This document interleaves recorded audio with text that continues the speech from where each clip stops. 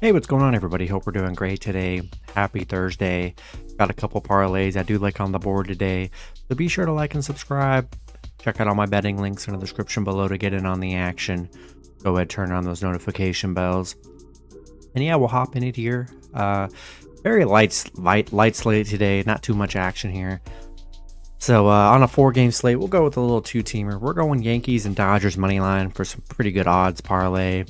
And then we'll take Yankees and Dodgers both plus one and a half. And then a 13 point teaser. Love love the college football teasers. Uh, we're gonna go Florida plus 17 and a half, Nebraska plus 20, Kent State plus 48 and a half, and then NC State minus one. That's gonna be it for the video. Good luck with your picks and parlays on Thursday.